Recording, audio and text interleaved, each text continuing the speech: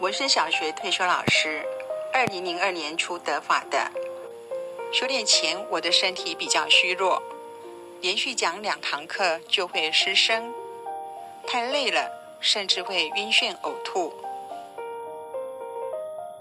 一九九九年六月一日，这天是我人生中的一个重大转变，因为认识了法轮功，开启了我修炼的路。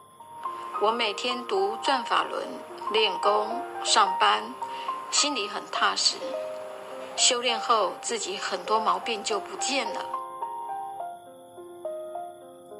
我来自中国大陆长春市，因缘际会嫁到台湾，在医院工作。二零零九年，因为遭遇了一场交通意外，抱着去病健身的想法，走进了法轮功修炼。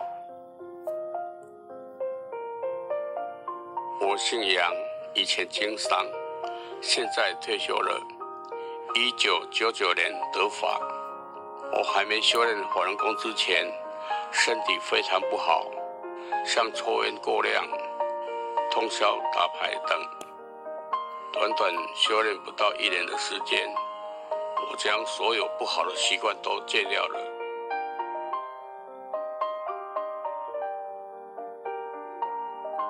修炼后，免疫力增强了。十多年来不曾生病吃药，我明白了生命的意义与目的。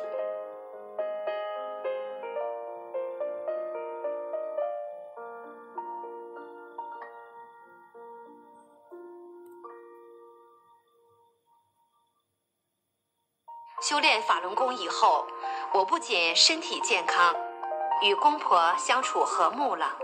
和先生也不吵架了。先生常常说法轮功真好，让我们一家和乐。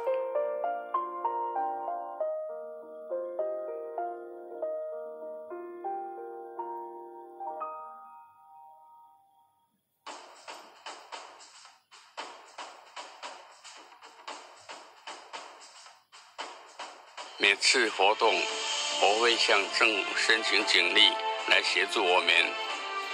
活动后，警察们也明白了，法轮功是一个自律性很高、很和善、所信用、可敬佩的团体。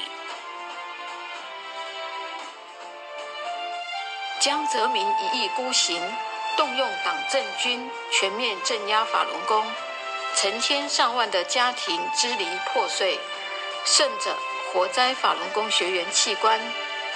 没想到这。我的眼泪就哗啦哗啦的流，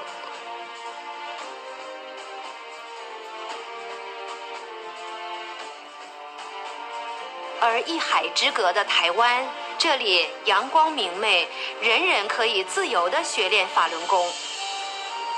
台湾人敬天信神，善良淳朴，两岸的环境真是天壤之别。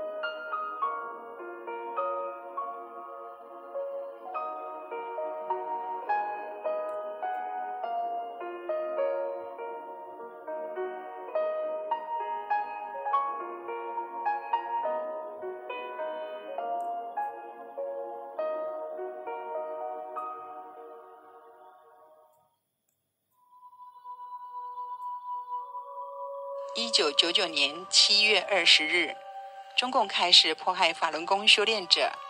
得法后，我几乎年年参加七二零活动，我们以集体练功及烛光静坐的形式，悼念被中共迫害致死的法轮功修炼者，并传递法轮功真相，呼吁民众共同制止中共迫害人权。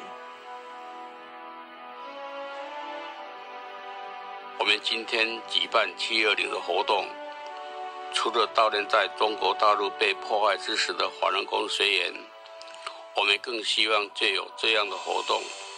让更多人来了解中国共产党邪恶的本质，明白法轮功学员被迫害的真相，共同来声援。